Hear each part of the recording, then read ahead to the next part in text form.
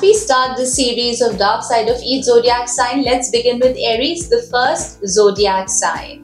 Aries is a fire sign brimming with energy. What kind of an energy? The warrior energy. They are there with their swords saving the world for all the right causes. A beautiful sign full of enthusiasm. But what happens when the dark side takes over? Let's find out. They are a very competitive sign. It is absolutely wonderful to be competitive, especially when you're becoming a better version of themselves. But when their dark side takes over, the need to win is so strong that it can even make them selfish. They can become aggressive, they can go to any ruthless extent in order to win from you. And this can sometimes really, really bring out the dark, selfish side in them. Be wary of them. They can go to any extent. They can be extremely stubborn if they want to be. And this stubbornness also comes from the fact that they want to dominate, they want to win, they want to rule.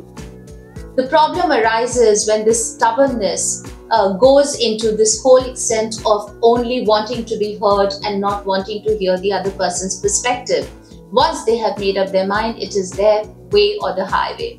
And this becomes absolutely unbearable and intimidating for the other person who's at the receiving end. Lastly, when it comes to love, they expect complete loyalty and they're willing to give you their loyalty. There is no gray when it comes to an Aries relationship. It is absolutely black or white. They can spring wonderful surprises on you. They can really, really pamper you with all wonderful things. But God forbid you have been disloyal to them, then you will be at the receiving end in the worst of ways. The sweetest lover can become your biggest nightmare. They will hunt you down and they will ensure that they will make your life a living hell. So if you have cheated on your Aries lover, run because this is going to take you to the worst of your life's processes and situations because they're going to hunt you down and they're not going to spare you.